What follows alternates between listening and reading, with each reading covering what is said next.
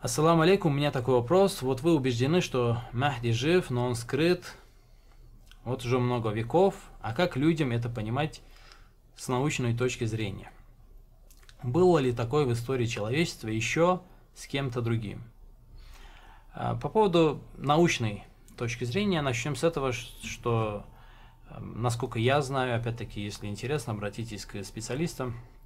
Насколько я знаю, даже наука, да, современная экспериментальная наука, она считает э, смерть необычным, да, считает, что э, смерть является своего рода аномалией, да, скажем так, или вот выражаясь э, их языком, вот они говорят, мы не запрограммированы на смерть. То есть мы можем жить долго, мы можем жить вечно, мы не запрограммированы на смерть. Смерть это что-то такое необычное для нас исключительно с биологической точки зрения. Поэтому с научной точки зрения смерть она не является старением, и смерть она не является чем-то естественным. Да? И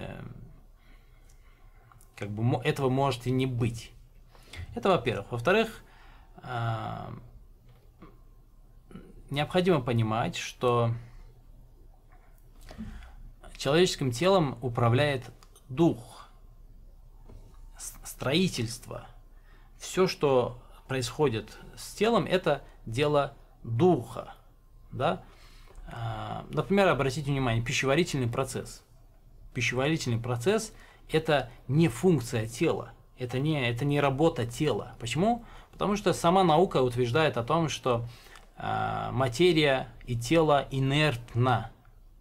Инертность материи не позволяет нам говорить, что пищеварительный Просто обыкновенный пищеварительный процесс является телом, э, делом тела, работой тела. Нет, это нечто неинертное должно заставить тело работать, должно управлять этим телом, точно так же, как вы управляете машиной, самолетом, велосипедом, мотоциклом и так далее. То есть дух управляет телом, в том числе и пищеварительным процессом. Поэтому очень многое зависит от духа, в том числе и старение, смерть, болезни и так далее, и так далее.